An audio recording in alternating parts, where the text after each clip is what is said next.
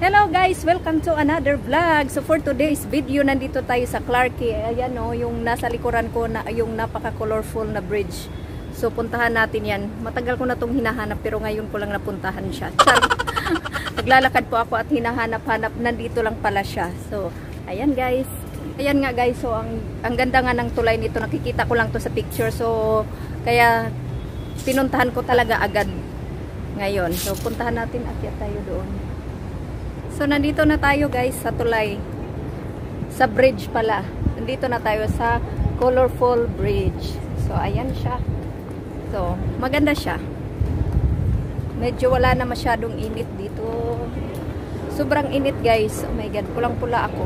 So, ayan yung colorful na bridge dito sa Clarke. So, ayan siya.